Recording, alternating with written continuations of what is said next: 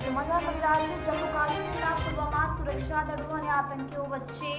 અથડામણ સર્જાય છે અત્યાર સુધીમાં એક આતંકી ઠાર થયો છે જ્યારે બે લેખોને